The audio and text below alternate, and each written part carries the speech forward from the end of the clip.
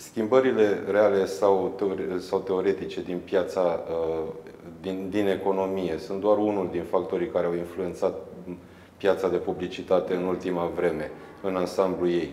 Uh, iar anul trecut ne-a învățat că uh, deja nu se mai poate vorbi despre efecte care încep la începutul anului, se termină la începutul anului, se, Da. se perpetuează pe, Așa e. pe mai mulți ani. Uh, Care sunt cei mai importanți astfel de factori de influență din ultimul an asupra publicității? Bun, deci cheltuielilor am hotărât. medie. Factorii economici sunt cei mai importanți și s-a văzut uh, din 2008 începând cum ne-a uh, afectat criza dramatic uh, bugetele.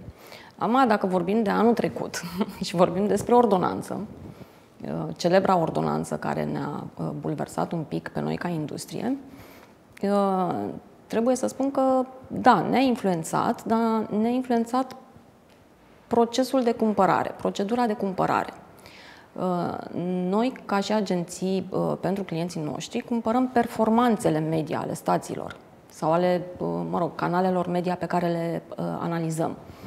Ordonanța nu a influențat performanța TV-ului în România. Uh, Ordonanța a influențat doar procesul de cumpărare.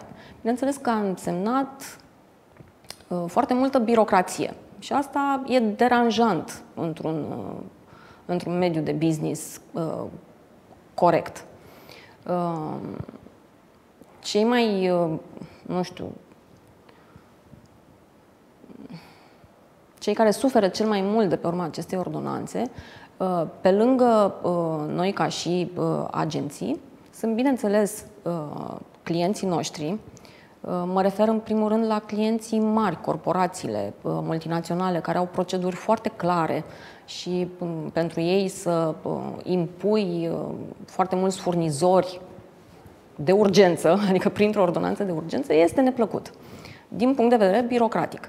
Uh, Mai mult decât atât, chiar și stațiile TV au resimțit uh, acest imens uh, volum de birocrație. Uh, Gândiți-vă că nu mai facturează 30 de agenții, 40 de agenții, ci au sute de, de clienți cărora le emit facturi, uh, urmăresc uh, procesul de plată și, și așa mai departe.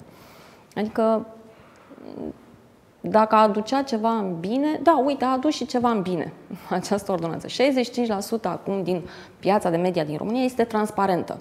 E, cred că, singura, um, nu știu, singurul efect pozitiv pe care pot să-l văd. Uh, Altfel, a adus numai birocrație.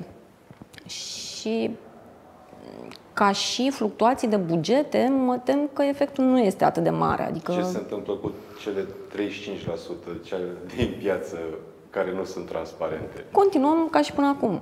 Nu se schimbă absolut nimic. Ce mă surprinde pe mine ca om care urmărește fenomenul uh, media este că agențiile vorbesc deja despre faptul că lucrurile ar fi intrat pe un făgaș normal după acea ordonanță.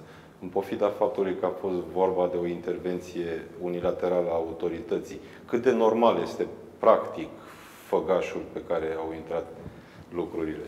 Nu știu cât de normal, adică știu cât de normal este, dar nu, nu vreau să discut lucrul ăsta. Noi, ca și agenție, uh, am înțeles noua regulă, am aplicat-o imediat, am înțeles-o, ne-am uh, reorganizat uh, procesul intern uh, și n-am stat foarte mult pe gânduri, adică n-am pierdut, n-am avut timp morți uh, în acomodări uh, din acestea. Nu. Deci, cât am putut de repede, ne-am, uh, ne-am regrupat. Uh, Mai mult decât atât, noi am vrut foarte uh, uh, punctual clienții noștri să nu sufere uh, absolut deloc din, uh, de pe urma acestei uh, uh, schimbări de procedură. Uh, Cred că am reușit, adică n-am avut uh, niciun fel de uh, perioade moarte pentru niciun, fel de, bă, pentru niciun client. Acum, dacă asta e normalitatea, da, asta e normalitatea. E... Uh, În- Pe noi foarte mult nu ne-a afectat pentru că noi oricum uh, ne bazam uh, businessul în mare parte pe clienți transparenți. Și atunci, ok, este încă o dată nenatural în 2014 foarte mulți oameni din agenții, de la clienți, uh, chiar și de la media, să stea să facă lucruri birocratice în loc să stea să nu știu, creeze, să uh, își folosească timpul, uh, mă rog, mai uh, productiv. Uh, principalul segment al pieței media, televiziunea, uh, trece mm, tot așa de la o vreme prin foarte multe uh, zdruncinături. Sunt schimbările de la Pro, e fluxul de vedete către Antena 1, sunt dificultățile în justiție ale șefilor de la Antena 1, sunt alte schimbări și modificări de status quo uh, și la TVR și la Prima TV, la mulți actori din piață. Uh, agențiile vorbesc în special de faptul, și tu ai spus mai devreme, că uh, voi lucrați până la urmă cu audiențe și că audiențele contează și asta vă interesează. Dar că totul e în regulă, dar e totul în regulă până la urmă?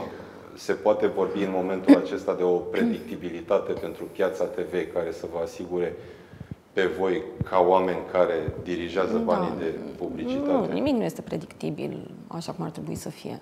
Uh, dar da, mai spun o dată, noi nu uh, cumpărăm PR-ul stațiilor TV. Noi cumpărăm performanțele stațiilor TV. Uh, zi de zi noi monitorizăm, Uh, evaluăm cu cele mai uh, uh, apropiate perioade istorice și în continuare TV-ul livrează toate acele, toți acei indicatori de performanță pe care noi îi dorim pentru campaniile noastre. Deci asta deocamdată nu s-a schimbat. Toate lucrurile astea, toate amănuntele de care spui tu, noi le știm le știm noi, voi, câțiva oameni, dar publicul, adică imaginează-ți omul acasă care stă pe canapea. Crezi că știe el? El vede emisiunile cu care, nu știu, uh, vibrează, are, uh, îi plac.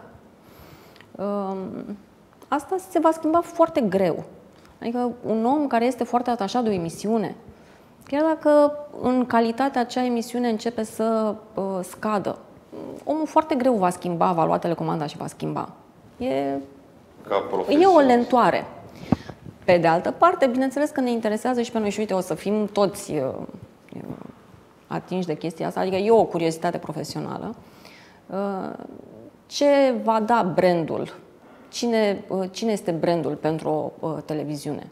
Este uh, sigla sau este uh, numele tuturor oamenilor care au contribuit la uh, construcția acelei televiziuni. Va fi în toamnă chestia asta, vom, vom vedea. Nu putem ști, adică eu nu pot să dau un răspuns acum. Dar de unde această curiozitate? Din tot ce se întâmplă în piața TV în momentul da, de față, sunt. și la Pro, și la Antenă, și la celelalte. Ce vă preocupă e, e pe clar voi că sunt, mult? sunt modificări. Au mai fost și înainte. Au mai plecat oameni dintr-o parte în alta.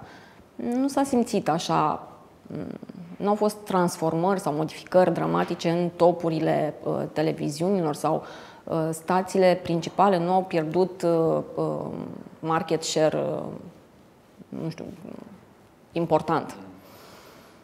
Vom vedea. Ce drept niciodată până acum nu a fost așa o uh, armată de vedete uh, migrând dintr-o parte în alta, așa multe transformări în același timp. N-am mai văzut. Uh. Dar vom vedea în toamnă.